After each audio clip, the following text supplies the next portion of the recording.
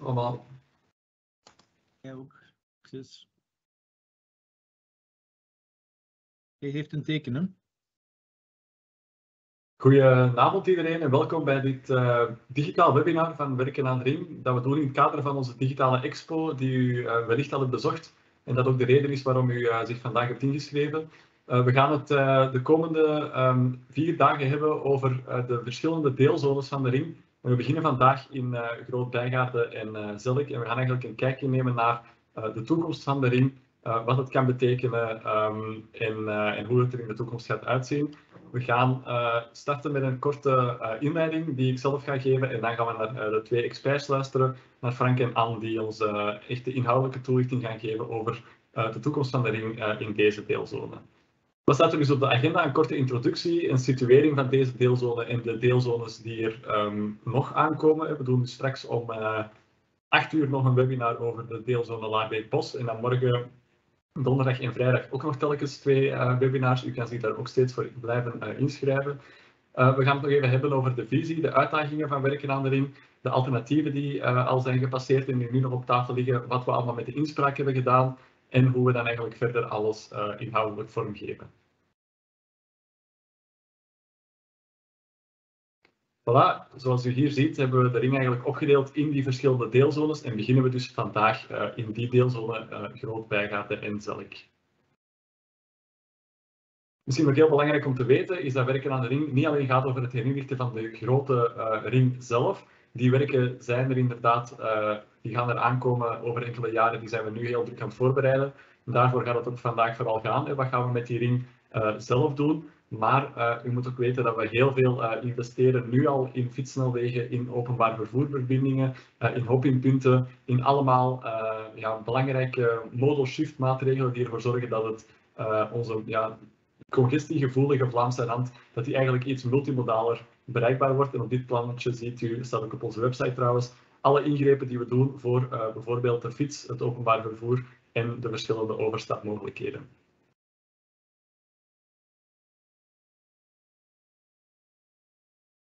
Voilà, er is werken aan de ring en dat is eigenlijk een onderdeel van werken aan de regio, waarmee we zoveel willen zeggen als wat wij doen vanuit de Vlaamse overheid met het programma Werken aan de Ring. Dat kunnen we niet alleen.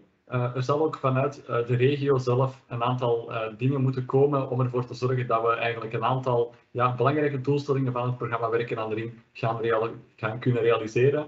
Dat gaat dan over de, de, multimodaliteit, dat gaat over de modal shift, dat gaat over de versterking van de leefbaarheid, dat gaat over bijvoorbeeld gemeentes die ons, ons beleid en onze, onze visie voor erin kunnen volgen met uh, bijvoorbeeld lokale knips of lokale aanpassingen op hun wegennet. Dat moeten we allemaal samen met hen bekijken en daar zijn we dus ook mee bezig. Hè. Dus we doen het niet alleen. ik denk dat deze slide daarvoor belangrijk is. We doen het niet alleen, maar er zijn heel wat um, ja, ambities vanuit de regio, vanuit de andere bestuursniveaus die ook samen met ons willen werken aan een betere mobiliteit en leefbaarheid in de Vlaamse land.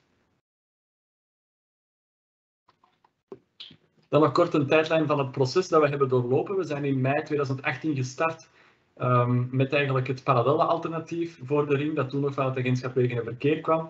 En eigenlijk hebben we dan een soort van uh, ja, een fase gehad waarbij dat we um, meerdere alternatieven zijn gaan onderzoeken. Die fase is eigenlijk uh, tot een uh, eindpunt gekomen waarbij er eigenlijk zeven alternatieven op tafel lagen. En die zijn we dan nu terug aan het, aan het trechteren. We zijn bepaalde mogelijkheden aan het schrappen.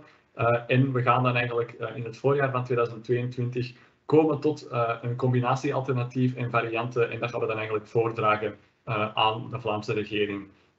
Het hele planproces loopt in verschillende, um, ja, wat wij noemen loops, in verschillende fases. en we zijn nu um, ja, met die verschillende loops ook verder bezig om, dat, om het programma verder te gaan uitwerken. Voilà, dan nog um, de overzicht van de scope van Loop 2, waar we eigenlijk nu, uh, nu in zitten. De plandoelstellingen die, uh, die zijn gekend. Het gaat om uh, de betere landschappelijke inpassing van de ring. Het gaat om de betere mobiliteit. Het gaat ook om de multimodale bereikbaarheid en het gaat om de leefbaarheid. Dat zijn de belangrijke zaken die wij vanuit werken aan de ring willen realiseren. En dat kan met de verschillende netwerken die die u ook kent. Dat kan uh, met, met alle verschillende um, ja, netwerken, groene netwerken, blauwe netwerken. Dus natuur is daarin heel belangrijk. Ook um, openbaar vervoer, ook fiets, ook auto, ook deelmobiliteit. Al die soort zaken wordt meegenomen. En dan gaan we eigenlijk dat allemaal bekijken in een aantal alternatieven en een aantal varianten op die alternatieven of varianten die in elk alternatief mogelijk zijn om dan eigenlijk een update te maken van onze tweede uh, scoping nota. Dat is een document waarin dat allemaal wordt neergeschreven, om zo eigenlijk door te gaan richting uh, ja, één uh, alternatief dat we eigenlijk kunnen voordragen als het alternatief van de toekomstvordering. Voilà, die alternatieven en varianten. Um, ik heb het al gezegd, we, we vertrekken vanuit een, een, bestaande toestand van de ring die, die niet optimaal is. we hebben in loop 1 een aantal um, alternatieven bekeken, namelijk een, uh, wat we noemden een, uh, een, light alternatief, een parallel alternatief en een lateraal alternatief. Dat lateraal alternatief met het rode kruis over, dat is uh, geschrapt. Dat komt omdat we ja, daar hebben gezien dat het eigenlijk niet aan de mobiliteitsdoelstellingen voldoet en dat het ook heel veel ruimte zou innemen. En eigenlijk zijn we nu richting loop 2 naar een, ja, een combinatie aan het gaan van alternatief 1 en, en alternatief 2. Uh, om zo eigenlijk tot dat combinatiealternatief te komen. Er zijn ook nog wat varianten. Varianten wil zeggen iets dat we op elk alternatief kunnen toepassen. Bijvoorbeeld, hoe ziet de verkeerswisselaar eruit? Uh, hoe zien de aansluitingscomplexen eruit? Of wat is het lengteprofiel? Dus als je van opzij kijkt naar de ring, hoe hoog ligt die of hoe laag ligt die? Denk maar aan de, de helling uh, in, in, in Jetten en Wemmel. Um, gaan we daar iets aan veranderen? Dat zijn alternatieve varianten liever op die alternatieven die in elk alternatief mogelijk zijn. Dus eigenlijk zijn dat ja, puzzelstukjes die we kunnen inpassen steeds in elk uh, verschillend alternatief.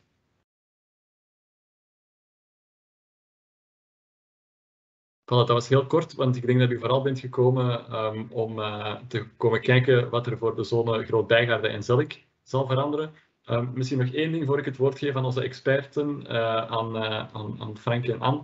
is dat u ook vragen kan stellen. U ziet daar um, een, een chatfunctie, die kan u vragen naar ons sturen. Wij zitten klaar met een team van experts om op die vragen te beantwoorden.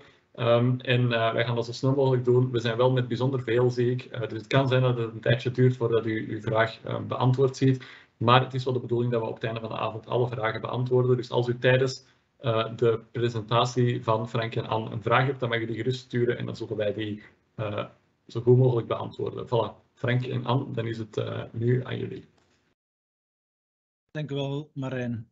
Um, Marijn heeft het al kort aangehaald. Dus er zijn verschillende alternatieven en varianten voor het project van uh, Erno Noord, dus de, de Noordelijke Ring. Um, we hebben die in, aan de hand van twee thematische webinars, één over ruimte en leefbaarheid en één over mobiliteit, meer in zijn algemeenheid besproken twee weken terug. Die webinars die zijn ook te, te bekijken nog, denk ik, op de, op de website. Um, nu, vandaag is het effectief de bedoeling om eh, deelzone per deelzone te gaan bekijken van wat betekenen die eigenlijk al die alternatieven en varianten uh, specifiek voor die deelgebieden waar we het hier over hebben. Um, dus um, Marijn geeft het ook al aan, dus enerzijds heb je die alternatieven, maar anderzijds heb je ook locatiegebonden varianten. En uh, aangezien dat in deze deelzone een belangrijke verkeerswisselaar gelegen is en ook een belangrijk aansluitingscomplex, uh, daar zijn onder andere meerdere varianten voor ontwikkeld. Dus we gaan proberen uh, vanuit een, een, een, analyse van, van die omgeving uh, komen tot een visie op die omgeving uh, gaan kijken hoe dat het project kan bijdragen bij de, de, de kwaliteit van, die, uh, van dat gebied. Um, en tenslotte hoe dat die verschillende alternatieven en varianten een beslag kunnen krijgen in, in die omgeving. Om op die manier ook een afweging te kunnen maken tussen die verschillende alternatieven en varianten binnen deze omgeving. Um, dus ik zei het al, uh, we gaan in op een, uh, we vertrekken vanuit een analyse. Uh, sommigen onder jullie zullen misschien deze analyse of, een stukje van deze analyse al, al eens een keer gezien hebben. maar het is toch belangrijk dat we proberen iedereen mee te krijgen, ook mensen die, die niet alle, webinars of alle publieksmomenten van het verleden hebben kunnen meevolgen. Um, dus wat zien we in, als we die, die omgeving analyseren, dan zien we een heleboel uitdagingen en, en, en kansen. Uh, een van die belangrijke uitdagingen die, die bij jullie zeker gekend is, is uh, het, het, uh, doorheen het centrum van, van Zelk. Ehm, onder andere deze bedrijventerreinen, die, ja, die kunnen bijna niet anders dan een stukje die Brusselse Steenweg gaan, gaan volgen om naar een op een afrittencomplex te kunnen geraken. En het is een dat soort van sluipverkeer dat we proberen uh, met de werker aan de ring ook een, een oplossing voor een stukje voor te bieden. Um, een andere uitdaging is, is, uh, is de, dus de, bereikbaarheid van, van de bedrijfsclusters. Uh, um, ja, we kennen de, de, drie clusters eigenlijk in de drie kwadranten rond, rond de knoop. Um, dus dat is een belangrijk aandachtspunt.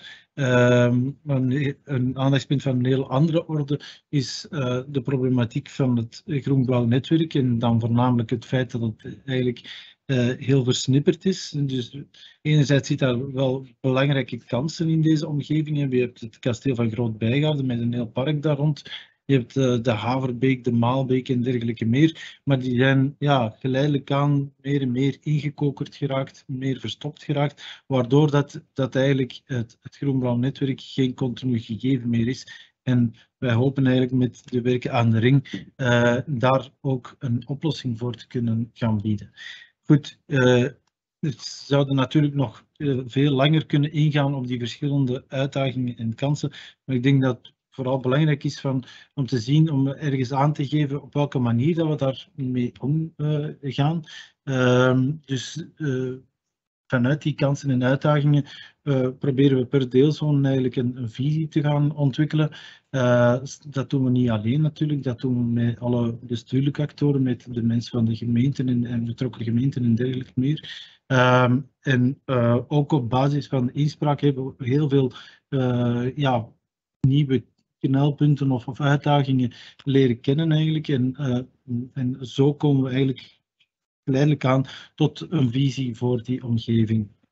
Dat is niet alleen een, een mobiliteitsvisie, uh, maar dat is ook een visie op de, het verbeteren van de leefkwaliteit in die omgeving, het verbeteren van het groen-blauw netwerk in die omgeving.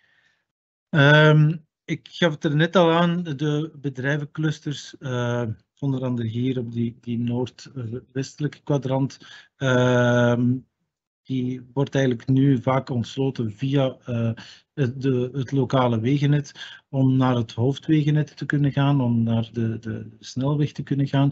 Uh, zoals we al eerder hebben gezegd, is het onze visie om uh, bij de heraanleg van de verkeerswisselaar Groot Bijgaarde, om daar ook een rechtstreekse verbinding te maken tussen deze bedrijvenclusters hier in het uh, noordwestelijk kwadrant um, naar het oostelijk kwadrant, om op die manier uh, de, de, aansluiting richting dit op- en afritcomplex uh, te verbeteren en daar dus een rechtstreekse verbinding te kunnen realiseren.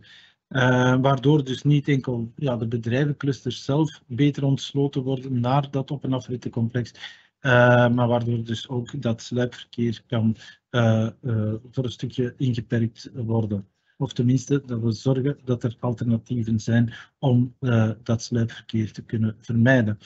Um, we, hebben het niet alleen over autoverkeer, we hebben het ook natuurlijk over uh, de multimodale ontwikkeling van de regio. we hebben hier uh, de F2 die uh, voor een stuk in, in aanvraag of in ontwikkeling is. Um, we hebben het MOBI-punt ter hoogte van het station van Groot Bijgaarden dat in ontwikkeling is door de werkvernootschap. we zijn ook volop aan het werken aan de Quickwin uh, dus QuickWin is een, is een project dat je uh, vervroegd kan, kan gaan realiseren, dat niet een uitgebreid geïntegreerd planningsproces nodig heeft. Um, dus uh, in dergelijke projecten die vervroegd kunnen uitgevoerd worden, zit onder andere de realisatie van het ringfietspad, waar dat hier een, een, eerste aanzet van tracé uh, is, is uitgezet, maar waar dan ondertussen al een veel gedetailleerder uh, plan voor ontwikkeld wordt, uh, waar dat jullie ook zeker zeer binnenkort van op de hoogte zullen gebracht worden ehm, voor de nodige inspraak. Um, het fietsroutenetwerk. Dan hebben we natuurlijk ook het groen-blauwe netwerk, uh, waar dat we zien dat dus, uh, uh, er enorme opportuniteiten aan zijn, bestaan om iets te gaan doen met die Haverbeek, die, die Maalbeek, die momenteel voor, voor lange delen ingekokerd zitten onder de verkeerswisselaar, onder de ring door. dus om de uitdaging zit er eigenlijk in om uh, die, die waterlopen terug meer ruimte te geven, uh, om op die manier ook de wateroverlast in die omgeving uh, in te perken. Goed, dus dat zijn eigenlijk een beetje de, de, de, contextuele gegevens waarmee we zijn aan de slag gegaan. Um, we gaan die nu even confronteren met de verschillende visies die ontwikkeld zijn op, op meer systeemniveau, dus op, op het niveau van de ring zelf. En uh, vervolgens kunnen we dan verder gaan evalueren hoe dat die uh, alternatieven en varianten uh, ja, die, die visie nog altijd eh, kunnen realiseren. Um, ik ga hier links bovenaan starten. dus Marijn gaf het kort al aan. Uh, er zijn nu nog uh, drie alternatieven in de running. Er is een uh, alternatief die lateraal genoemd werd, werd vroeger, die er ja, ondertussen afgevallen is, bij wijze van spreken. Um, dus we hebben het alternatief waarbij het een eigenlijk optimalisatie van de bestaande ring is, waar dat doorgaand bestemmingsverkeer eigenlijk op het, het grootste deel van de ring gebundeld uh, is. Op een paar uitzonderingen na. Um, en dan hebben we het tweede alternatief, waar dat in de zone Bemmel en in de zone Zaventem een uh, gescheiden ringsysteem uh, wordt voorgesteld. Dus waarbij dat het doorgaande verkeer, dat bijvoorbeeld van Gent naar Leuven moet of zo, en het bestemmingsverkeer um, dat op de ring zit, dat dat gescheiden wordt in deze twee zones op een, ja, een doorgaande ringsysteem en parallelstructuur. Uh, dat ziet u hier uh, schematisch aangegeven. Uh, alternatief 3 bestaat erin dat deze twee principes met elkaar gecombineerd wordt, worden. Um, en waarbij dat je ziet dat dan uh, in de zone Wemmel en zone Vilvoorde het gebundelde uh, ringsysteem wordt uitgewerkt, terwijl dat in de zone Zaventem het gescheiden systeem met doorgaande ring en parallelweg zou gerealiseerd worden. Nu, misschien niet onbelangrijk is in deze zone, wat, wat, wat betekent dat nu precies voor een groot bijgaan? En dan zit hier dat die kader die hier rond is gezet, uh, dat is dat we een heel specifieke situatie hebben waarbij dat de, uh, u zag het eigenlijk in de eerste slide al, um, dat de verkeerswisselaar en de, uh, het aanzettingscomplex um, eigenlijk heel dicht op elkaar gelegen zijn. Uh, waardoor dat we uh, sowieso een soort van parallel of rangeersysteem nodig hebben om die twee uh, ja, aangesloten te krijgen op de ring en zonder, zonder conflicten.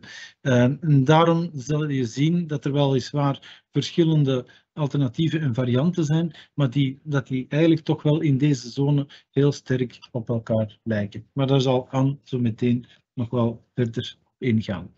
Uh, ik zal kort nog eventjes aangeven, en dat kun je hier ook al een beetje zien, dat we er heel hard op gewerkt hebben om die, uh, die knoopontwerpen, uh, zowel op de aanzettingscomplex als, het, als, het, als het, de verkeerswisselaar of de knoop, uh, om die eigenlijk zo compact mogelijk te gaan ontwerpen, om bijvoorbeeld ook de passage, om ervoor te zorgen dat de passage van de Brusselse Steenweg tussen de, tussen de woonkernen van Zilk, uh, dat het ook een kwalitatieve passage kan, uh, kan worden uh, en dat die niet nog verder eh, ja, bedolven zou worden onder de ring, bij wijze van spreken.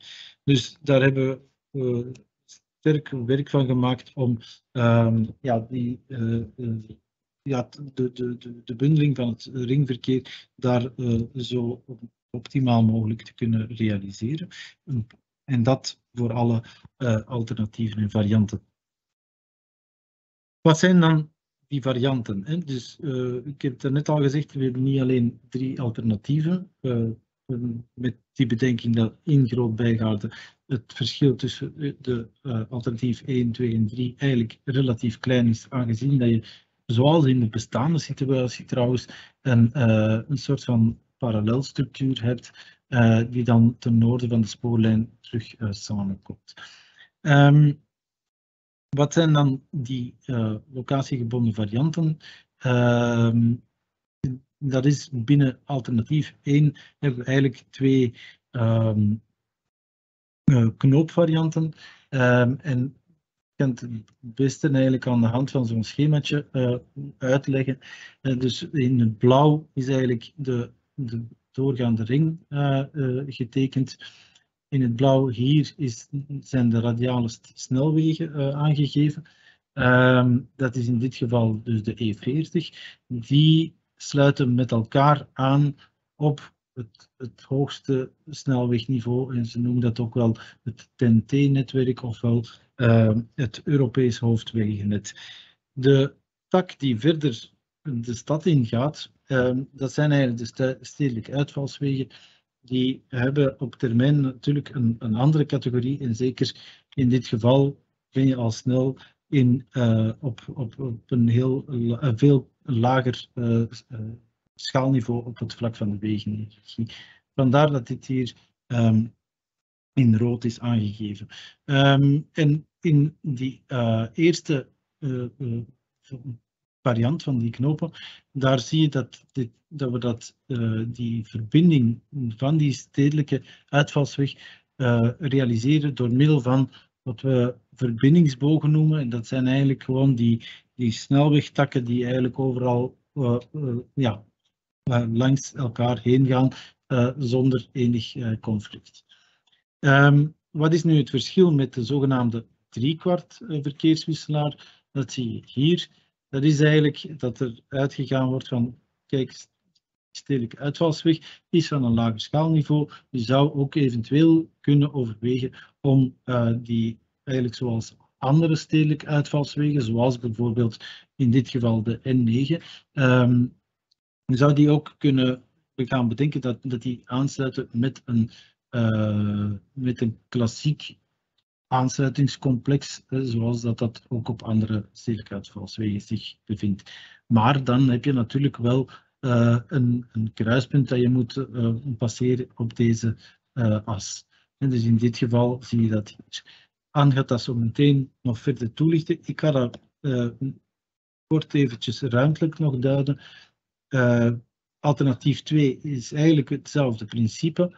Um, Enkel in dat geval heb je een soort van parallelstructuur bij, bij alternatief 2, uh, waarbij dat je dan um, de radiale snelwegen zowel aansluiten op die uh, parallelstructuur als op de doorgaande ringstructuur uh, en de stedelijke uitvalsweg verbonden is met die verbindingsbogen op de stedelijke ringweg. Um, in alternatief 2 uh, variant A is dat ze eigenlijk uh, dat ook vanuit de stedelijke uitvalsweg op beide systemen wordt aangesloten. Maar dan begrijp je dat je dan al uh, uitkomt op zeer complexe verkeerswisselaars. Opnieuw, uh, de driekwartwisselaars is ook op dit uh, alternatief uh, mogelijk van toepassing. Uh, en dat is, de, op deze manier vormgegeven, dan, waarbij dat de E40 aansluit op de ring en op de parallelstructuur van de ring. En dat de stedelijke uitvalsweg aangesloten wordt met een, een op- en afrittencomplex op de parallelstructuur. Goed, concreet betekent dat dan um, dat we hier. De,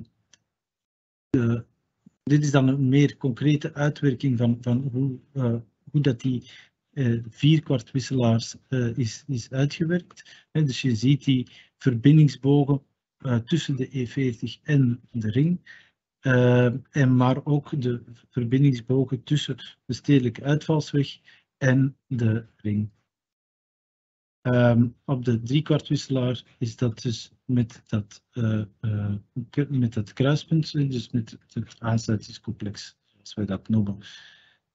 Um, de, het ruimtebeslag dat daar bij hoort, um, dat zie je hier weergegeven. Dit is van de vierkwartwisselaar. Dit is van de driekwartwisselaar rechts. en dan zie je dat we in beide uh, gevallen, en dus we hebben hier in grijs de contour aangeduid van de bestaande uh, infrastructuur, en dus dat is de verkeerswisselaar en het aansluitingscomplex, en, uh, en in het geel dan het, de ontworpen infrastructuur. Hier is dat weergegeven in de driekwartwisselaar, waar dat we toch een reductie van 50 naar 31 hectare zouden kunnen realiseren. Um, in de vierkwartwisselaar. Uh, ook daar wordt een heel uh, aanzienlijke reductie gerealiseerd van uh, 50 hectare van de bestaande ruimteinname naar 36 hectare in de nieuwe situatie. En dat gaat dan ook gepaard met een ontharding en dus ook minder verharding, uh, minder asfalt zal ik maar zeggen. Maar wat dat we hier vooral zien is dat we een belangrijke ruimtewinsten creëren. Ruimtewinsten die we niet puur ja, voor de lol creëren natuurlijk. We, we, gaan daar ook effectief mee aan de slag. Gaan we, gaan we kijken hoe kunnen we daar uh, voor de omliggende gebieden eigenlijk een meerwaarde creëren. En dus hier zien we uh, een klein voorbeeldje. Dus dit is de, de wisselaar in de bestaande toestand. We zien hier een foto genomen op die afrit. Dus uh, deze plaats. En dan zien we door die compactering van het complex dat we die afrit heel veel dichter wordt gelegd bij die knoop. En dan spreek ik hier ook nog altijd over de vierkwart wisselaar. Uh, dus dat ook in dat geval een enorme uh, ruimte hier vrijgemaakt wordt, die uh, enerzijds ehm, een belangrijke rol gaat kunnen op, opnemen in dat groen-blauw netwerk. Ehm, als een stapsteen in die, om die langse ecoconnectiviteit langs de ring te gaan versterken. Dat daar natuurlijk ook recreatieve mogelijkheden aan, aan, aan, verbonden zijn. Ehm, en dat dus ja, op die manier ook de leefbaarheid in die hele omgeving een stuk zal kunnen verbeteren. Dan geef ik graag het woord aan Anne, die nog dieper zal ingaan op deze werking van de wisselaars. Ja. Ga met jullie verder um, beide vormen van wisselaars vergelijken met telkens de vier vierde wisselaar aan de linkerkant en de drie vierde wisselaar aan de rechterkant. Te beginnen met de algemene structuur, maar hier nog een keer heel concreet um, de verschillende stromen in beeld gebracht. Um, in beide gevallen verloopt het verkeer tussen de E40 Gent en de R0 via die verbindingsbogen waar Frank het over had. Dat zie je zowel links als rechts. Wat is nu wel het verschil tussen beide verkeerswisselaars? Dat is eigenlijk die connectie met Brussel. Bij de vier vierde wisselaar zien we dat die ook verloopt via de verbindingsbogen. Bij de drie vierde wisselaar um, hebben we het onderliggende aansluitingscomplex in de verkeerswisselaar. Dus daar gaan eigenlijk met andere woorden twee verkeerslichten geregelde kruispunten te zien zijn um, die de beide richtingen gaan verknopen. Dus als je de volledige knoop bekijkt, zie je bij de vier vierde wisselaar alle richtingen in een aparte verbindingsboog en bij de drie vierde wisselaar de combinatie tussen de verbindingsbogen en de kruispunten. Om het nog een beetje concreter te maken, voor deze, um, voor deze zone hebben we een aantal um, richtingen in beeld gebracht. En in dit geval is dat het verkeer van en naar Brussel. Links opnieuw voor de vier vierde, rechts voor de drie vierde wisselaar. Naar Brussel, zoals gezegd, um, zit elke stroom in een aparte verbindingsboog, dus dat is redelijk eenvoudig. Um, in de drie vierde wisselaar ga je dus zien dat het verkeer um, naar Brussel vanaf de buitenring via het kruispunt uh, zal aantakken richting de inval, invalsweg naar Brussel. Als je van de E40 komt in Gent, zal, zal je rechtdoor kunnen rijden, maar moet je beide kruispunten passeren. Als je van de binnenring komt, dan passeer je langs het kruispunt via een bypass ofwel een, een vrije rechtsafbeweging um, en kan je zo Brussel inrijden. In de andere richting, als je van Brussel komt, is dat heel gelijkaardig. Richting binnenring is dat ook via een vrije rechtsaf naar de binnenring. Richting E40 Gent passeer je beide kruispunten en richting de buitenring passeer je één kruispunt en verknoop je via het tweede kruispunt. Vanuit mobiliteit hebben we nog een heel aantal andere zaken onderzocht um, voor beide wisselaars. Dus dat is, zoals Frank al zei, uitgebreid um, toegelicht in de thematische webinar van mobiliteit, die je ook kan um, herbekijken. Maar we willen toch graag ook hier de grote lijnen meegeven, zodat jullie beeld volledig kan zijn. En dan begin ik graag met de conflicten in de verkeerswisselaar. Want door de verschillende configuraties ga je zien dat ook die conflicten anders zijn. Bij de vier vierde wisselaar hebben we die verbindingsbogen die eigenlijk telkens samenkomen um, met de doorgaande beweging. En op die plek um, heb je in- en uitvoerbewegingen. Bij de drie vierde wisselaar heb je dat ook tussen de E40 en de R0. Um, maar vanuit Brussel hè, heb je dus die kruispunten, zoals dat we al gezegd hebben, en heb je eigenlijk een ander soort van conflict. Um, we denken dan bijvoorbeeld aan mogelijke kopstaartaanrijdingen uh, die zouden kunnen gebeuren. Um, dergelijke kruispunten passen niet meteen in het verwachtingspatroon van de weggebruiker, wat de leesbaarheid uh, niet te goede komt. Dan hebben we de conflicten bekeken. Daarna hebben we bekeken wat als er zich nu een incident voordoet. Um, hoe gaat die verkeerswisselaar daarmee om kunnen? Dus het sterretje op um, beide figuren um, toont eigenlijk een, een, een incident. en dan hebben we bekeken hoe die verkeerswisselaar daarmee om kan. En dan zie je bij de vier vierde wisselaar dat eigenlijk de verbindingsbogen vollopen, zonder de andere richtingen te storen. Bij de drie vierde wisselaar gaat richting E40 Gent ook die verbindingsboog um, vollopen. Maar ga je zien dat het verkeer ook terugslaat tot op het kruispunt in de verkeerswisselaar. En als dat gebeurt, dan hebben we eigenlijk in alle richtingen um, filevorming. Dus dat is dan bij incidenten um, het geval. Dan hebben we natuurlijk ook bekeken wat is, hoe, is de verkeers, hoe functioneert de verkeerswisselaar in reguliere omstandigheden. En dan hebben we gezien uit allerlei onderzoeken dat de drie vierde wisselaar dat die iets filegevoeliger is.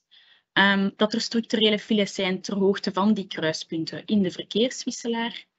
En dat de reistijd dus ook in de drie vierde wisselaar dat die iets hoger is. Nou, Zo'n 15% hoger dan in de vier vierde wisselaar.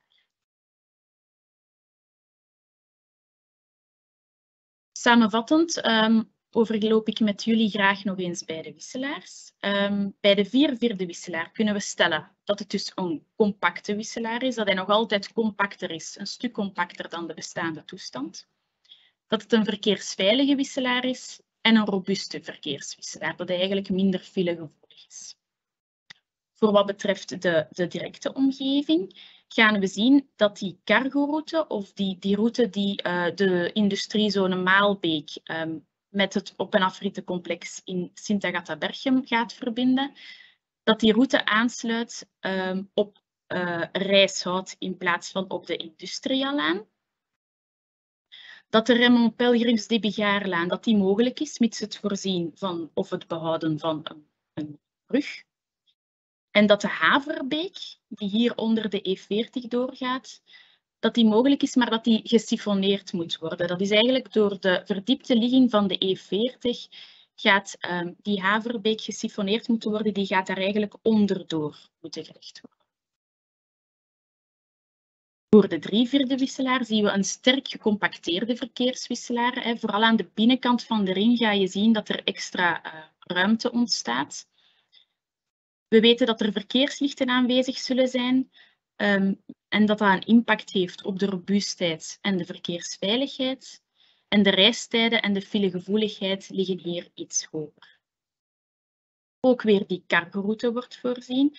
En die wordt in dit geval aangesloten um, op de industriële. Dus die ligt gewoon in het, in het verlengde van de industriële. Ook hier is de pelgrims de begaarlijn mogelijk um, via een brug. En de Haverbeek die kan makkelijk onder de E40 door, door zoals in de huidige toestand.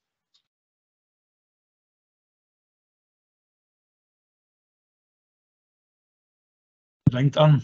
Um, nu, ja, we overvallen jullie misschien wel met nogal veel alternatieven en varianten. En, nu, het is niet onbelangrijk om, om, te weten dat dat natuurlijk ook ja, niet zomaar uh, bedacht is door ons of, of in, door, door een aantal technici. Uh, het, is, het is zo dat, dat we, uh, zoals Marijn het al aangaf, sinds de startnota van, van 2018 uh, dat we van, op basis van een publieke raadpleging telkens heel veel inspraakreacties hebben ge gekregen, die enerzijds meer algemene uh, bezorgdheden en, en, en uh, aandachtspunten heeft naar voren gebracht, maar ook soms heel specifieke lokaal gebonden um, aandachtspunten heeft naar, voren gebracht. Dus zo is dat eigenlijk systematisch zijn we dan daardoor eigenlijk tot, tot die verschillende alternatieven en, en varianten gekomen. Um, en hebben we systematisch ook daarover gecommuniceerd. Uh, een laatste publieke raadpleging heeft plaatsgevonden in uh, mei, juni van vorig jaar. Um, en vervolgens hebben we dan ja, nieuw die inspraak reacties uh, verwerkt. En soms zijn dat zaken die tot bepaalde correcties in onze documenten leiden. Soms zijn dat zaken die we zelf beter moeten verduidelijken, beter moeten argumenteren naar de, de inspraakhebbende.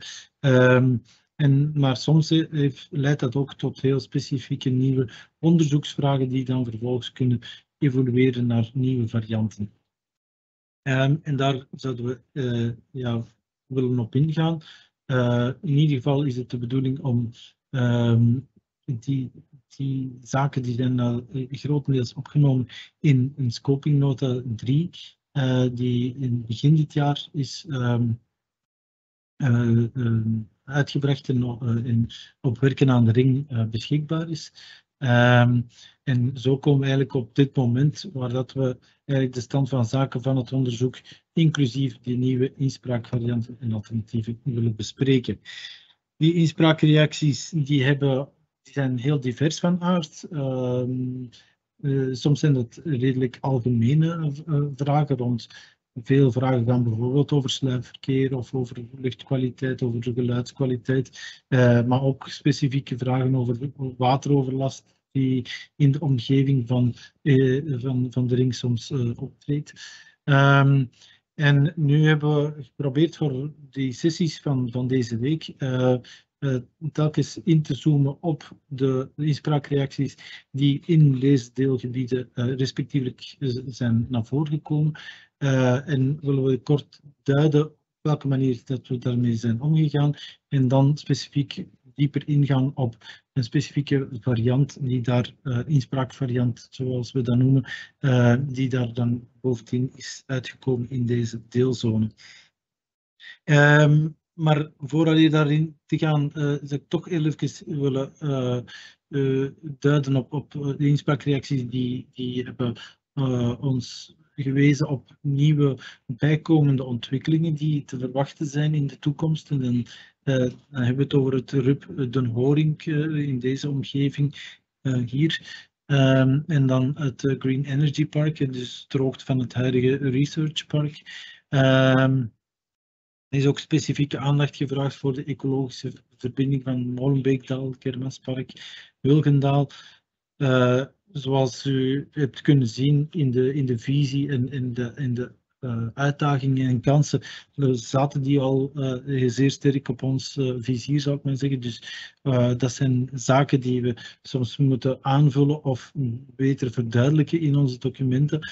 Um, de, het monument, het signaal van Zelk is natuurlijk een, een heel belangrijk uh, monument dat, dat ook zijn plaats kan behouden in, in de toekomstige plannen. Um, een aantal zaken die we ook verder willen verduidelijken is, is welke acties die we willen ondernemen in, in, rond de aanpak van de wateroverlast. Het is natuurlijk zo dat de wateroverlast een, een gegeven is dat, dat veel ruimer reikt dan, dan de omgeving van de ring zelf. Uh, maar u beseft ook dat wij ja, dat eigenlijk ook als een belangrijke taakstelling zien uh, op het moment dat wij zoveel uh, ruimte vrijmaken uh, door, door een veel compacter en slimmer infrastructuurontwerp, dat we daar die ruimte ook graag willen gaan inzetten om de natuurgebieden te, te versterken en om ook um, veel ruimte te creëren voor waterinfiltratie en waterbuffering in, in die omgeving om op die manier de wateroverlast in de omliggende gebieden ja, in te perken. De bezorgdheden van de sluiproutes, dat zijn ook zaken die, die, die, die we ook verder verduidelijkt hebben in, in de scope nota 3, waar dat u ook de link kunt vinden op deze website. Uh, zoals u had gezien, de, de, de sluiproute langs Religem, het is precies oh, door eigenlijk de, de, de, ring te gaan heraanleggen in deze zone Wemmel, uh, dat we heel die problematiek juist heel sterk gaan, gaan, gaan inperken. Um, dat zien we dus ook in de eerste merresultaten van mobiliteit, dat we daar een serieuze reductie van het sluipverkeer uh, kunnen vaststellen in de verkeersmodellering. En sluipverkeer in Zelk, dat had ik al eerder aangegeven aange, uh, met die nieuwe cargoroute, dat ook daar heel sterk op ingezet wordt om het sluipverkeer door Zelk in te perken. Um, een belangrijke onderzoeksvraag die nog naar voren kwam uh, bij de inspraakreacties, en die hadden eigenlijk te maken met die ontwikkelingen rond het researchpark onder andere. Um, en daar zien we dat er een inspraakreactie was gekomen bij die half klaverblad uh, um, aansluitingscomplex of, of afrittencomplex. Um, dus hier ziet u links uh, dat half klaverblad, dat is eigenlijk een, zeer vergelijkbaar met de huidige situatie. Um, en dat was eigenlijk een, een, een typologie of, een, een, wijze van ontwerp van aansluitingscomplex dat uh, combineerbaar is met die uh, vier kwart uh, wisselaar uh, die Anne zojuist heeft toegelicht. Bij de drie kwart wisselaar was er een, een alternatief mogelijk een iets compacter uh, uh, of een complex mogelijk uh, dat rechtstreeks aansluiting biedt met op een afritte naar de N9 die zich daaronder bevindt. Dus natuurlijk de reactie was van ja, hier bij die vier kwart knopen, ja, daar zit je met, met, die, met dat aansluitingscomplex dat zoveel ruimte inneemt uh, zowel voor natuur als voor het bedrijventerrein, kunnen daar niet uh, verder onderzoek naar doen. Dat hebben we dan ook gedaan en dan hebben we hiervoor uh, ook voor die vier kwartknopen een veel compactere Hollands complex aansluiting eigenlijk ontwikkeld. En die variant zal aan verder toelichten.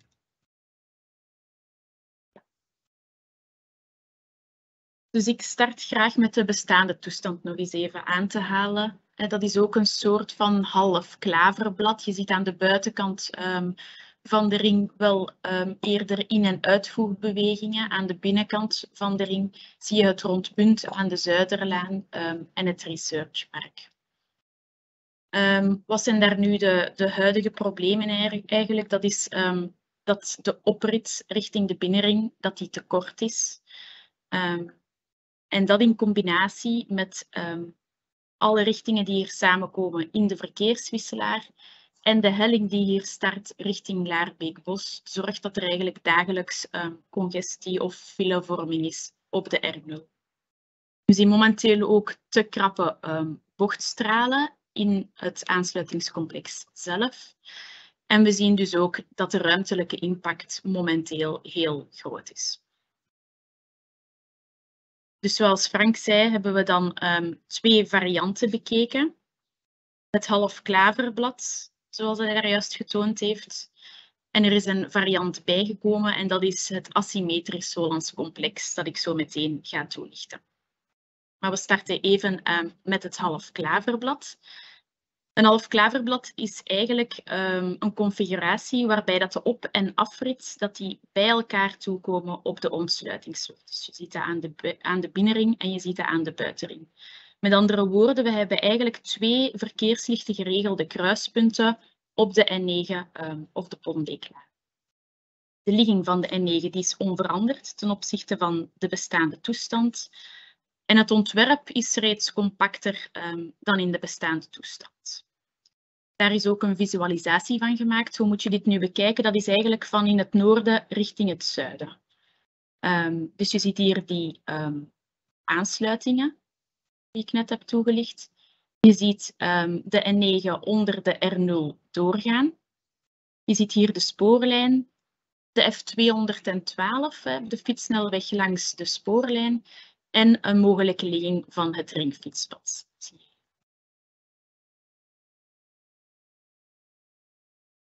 De andere variant is dus het asymmetrisch Hollands complex. Een Hollands complex dat is eigenlijk de meest voorkomende en de meest eenvoudige aansluiting ter hoogte van snelwegen.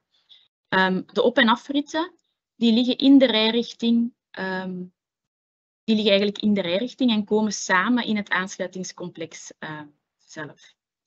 We zien hier een aangepaste ligging van de N9 of de Pombeeklaan. En die gaat niet meer hier onder de R0 door, maar die loopt eigenlijk rechtstreeks richting het aansluitingscomplex. We zien twee verkeerslichten geregelde kruispunten, want er is een aantakking voorzien uiteraard, onder de R0 door richting beneden Zellik en het Researchpark. En er is ook een verkeerslichten geregeld kruispunt in het aansluitingscomplex. Dit resulteert in een nog compacter um, ontwerp, met vooral aan de binnenkant van de ring um, een betere ecoconnectiviteit of een, een, betere verbinding voor de natuur langs de binnenkant um, van de ring. Ook hier is een visualisatie van gemaakt, opnieuw van het noorden richting het zuiden, waarbij dat je dus hier de aangepaste ligging van de Ponbeekladen ziet, langs de spoorlijn, opnieuw die F212 en het ringfietspad, en hier die aantakking die onder de R0 doorgaat.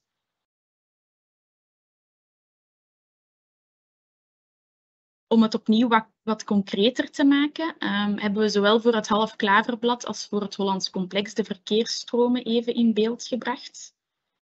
Um, als je dus van Assen komt, um, rij je via de Ponbeeklaan richting de twee kruispunten en kan je eigenlijk op die manier eenvoudig aantakken op de R0 als je van beneden Zelly komt, dan ga je zien dat de ligging van de Zuiderlaan hier iets is aangepast. Normaal loopt die rechtdoor, maar die is iets aangepast zodat die ook in het kruispunt terechtkomt, zodat de afwikkelingskwaliteit optimaal is. We zagen dat er problemen ontstonden als hier twee kruispunten zo kort bij elkaar gelegen zouden zijn.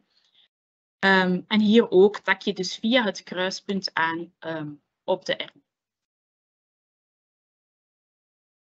Als we dan het um, asymmetrisch Hollands complex bekijken, ja trouwens asymmetrisch, waarom, waarom is dat een asymmetrisch Hollands complex? Dat is omdat dat maar langs één kant is aangesloten op de ontsluitingsweg. In, bij een normaal Hollands complex is dat aan beide kanten dat die weg doorloopt. In dit geval sluit de Pondbeeklaan slechts langs één, één kant aan. Dus hier ga je eigenlijk via de Pondbeeklaan het kruispunt passeren en op die manier de R0 oprijden. Als je van het researchpark komt of van beneden Zellik, ga je via die aantakking onder de R0 door en via beide kruispunten of via uh, de buitenring de R0.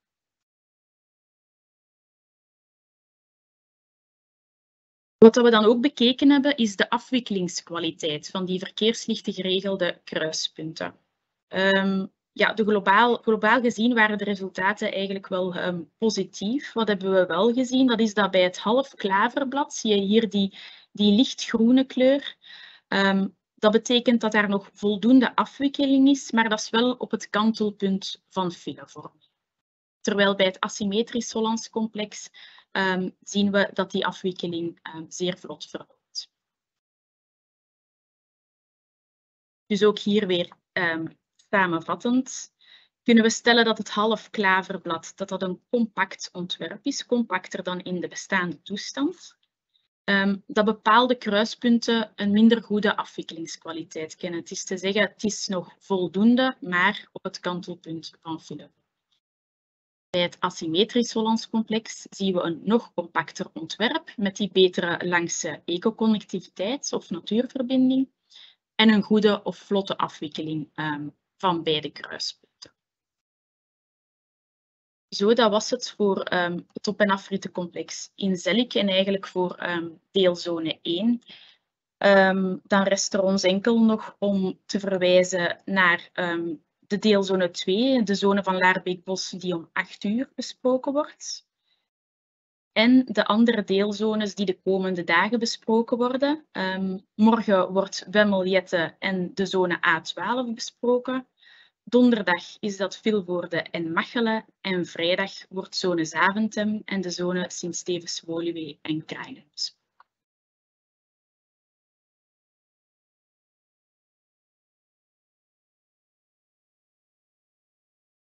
Ja, dankjewel Frank en Anne.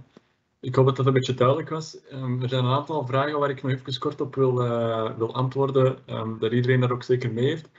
Um, wat we dan misschien in het begin moeten zeggen, maar alles van vandaag wordt ook opgenomen uh, en komt online op onze website. In eerste instantie op de Digitale Expo. maar als die eindigt uh, begin volgende week, dan komt het ook op onze werken aan de ring.be website. En ook op ons YouTube-kanaal, dat ook gewoon Werken aan de Ring heet. Dus daar kan u alles rustig herbekijken. Ook de twee webinars die al geweest zijn rond enerzijds mobiliteit en leefbaarheid en natuur. Dus dat is toch wel een belangrijke. Ik denk dat we um, niet bijzonder veel vragen hebben gekregen, waarmee ik hoop dat het, uh, het, het, toch enigszins duidelijk was, ondanks dat er heel veel mensen aan het kijken zijn. misschien nog een belangrijke vraag. Heel veel mensen hebben die gesteld. Uh, voor wanneer is dit allemaal? En dat is iets dat we inderdaad zullen hadden moeten zeggen tijdens de inleiding. Um, het is zeker en vast nog niet voor morgen. Hè. Dus dat wil zeggen dat we hier nu een, geïntegreerd planningsproces volgen waarmee we naar een nieuw ruimtelijk uitvoeringsplan willen. Dat wil zeggen, we willen een aantal wijzigingen doen op een, uh, op een ruimtelijk uitvoeringsplan dat ons toelaat om dit project effectief te gaan bouwen. Dat is een lang proces, hè. daar zijn we nu druk mee bezig. Daarna moeten we nog de ja, omgevingsvergunningen aanvragen en verkrijgen om effectief te mogen werken. En moeten we ook nog een aannemerconsortium zoeken die met een publiek-private samenwerkingsformule met ons in zee wil gaan om het project te gaan bouwen en ook te, een stukje nog mee te ontwerpen finaal en ook te gaan onderhouden. Dus als we dat allemaal bekijken, ja, dan zijn we toch al snel 2025 voor we met echt de grote werken kunnen starten. En dat is uiteraard een optimistische timing die we gaan proberen halen, maar er zijn uiteraard, ik moet u denk vertellen, van alles dat kan gebeuren om ervoor te zorgen dat dat nog iets of wat vertraging kent. Maar we doen ons best om daar zo snel mogelijk mee te starten. Natuurlijk, alle quick wins, alle quick win projecten die we um, op voorhand al, al uitvoeren, hè, zijn, zijn um, ja, belangrijke projecten, soms ook heel grote projecten. Denk maar aan de herinnering van de Hector Henola aan de andere kant van de ring in Zaventem. Eh, is toch een project van om en bij de 40 miljoen, uh, waar we echt heel veel investeren. Ook al in fiets, in openbaar vervoer, in verkeersveiligheid. Um, dus dat is, dat is toch wel belangrijk, denk ik, dat jullie er ook weten dat dat de timing is. Um, ik zie nog een aantal vragen binnenkomen van mensen die zeggen van kijk, ja, is er een replay? Hè? Dus ja, inderdaad, het komt op onze website terecht. Uh, wanneer valt de beslissing en wat is de timing van de werken? Ook dat heb ik gezegd, denk ik. Um, kan u nog inschrijven voor de webinar van 20 uur vanavond? Ja, uh, u kan die link bekomen door een, een mailtje te sturen naar info.werkenaandering.be als u zich nog niet hebt ingeschreven, want dat is belangrijk. Het is niet dezelfde link als, als nu, dus u zal op een andere link moeten klikken om straks om 8 uur het volgende um, ja, eigenlijk webinar te volgen. Ik ben terwijl nog wat vragen aan het lezen. Um, hoe lang zullen de werken duren, uh, is misschien nog een belangrijke vraag. Ja, dat is eigenlijk iets waar we vandaag de dag nog geen zicht op hebben. En dat komt omdat we uh, dus in zee zullen gaan met een aannemer, een publiek-private samenwerking. En die aannemer gaat ook zelf mee beslissen over de minder hinder uh, en de uitvoeringsmethodiek, waardoor ja, wij vandaag moeilijk kunnen zeggen het zal vijf of zes jaar duren. Het, zal wellicht enkele jaren duren om, om echt heel die noordelijke ring te gaan, te gaan uitvoeren. wie zich dan ook afvraagt, starten we eerst in Groot Bijgaarden of starten we eerst in Sint-Stevens-Woluwe of starten we over de hele ring tegelijk? Ook dat is iets dat we samen met die aannemer um, moeten, uh, moeten gaan uh, bespreken. Dus we hebben sowieso minder hinderprincipes waar we nu al mee aan het werken zijn, die we ook gaan opleggen aan die aannemer, waarmee we eigenlijk uh, ja, zoveel mogelijk willen zorgen dat de, dat de doorstroming zo vlot mogelijk gebeurt. Anderzijds investeren we nu heel veel in alternatieven, zodat ook um, mensen misschien van vervoersmodi kunnen, kunnen, of modus kunnen wisselen. Um, dat zijn alle vragen, denk ik, die ik nog zie openstaan. Er zijn er nog een paar die we maar ik zie dat de collega's bezig zijn met ze nog textueel uh, te behandelen. En dan um, denk ik dat het ongeveer alles is. Ik zal het nog even laten openstaan, zodat we op de vragen nog een antwoord kunnen bieden. Uh, maar als u hierna nog vragen heeft, of u bekijkt dit niet live, maar u herbekijkt dit, dan mag u ook steeds nog vragen sturen via uh, die kanalen op de Digitale Expo deze week, of um, via onze e-mailadres info.werkenaandering.be of via onze sociale media. we zijn heel bereikbaar. we antwoorden graag op al uw vragen. Um, dus um, we zien u uh, graag om 8 uur voor uh, het webinar van Laarbeek Bos of uh, op een van de andere momenten die hierop staan voor de andere um, webinars die we nog voeren in het kader van deze belangrijke week in het kader van werken aan de ring en onze digitale expo. Dus bedankt aan al onze experts die achter de schermen ook hebben mee beantwoord. Bedankt aan Anne en Frank. En wij gaan op naar de volgende over een, een dik uurtje. Dank u wel.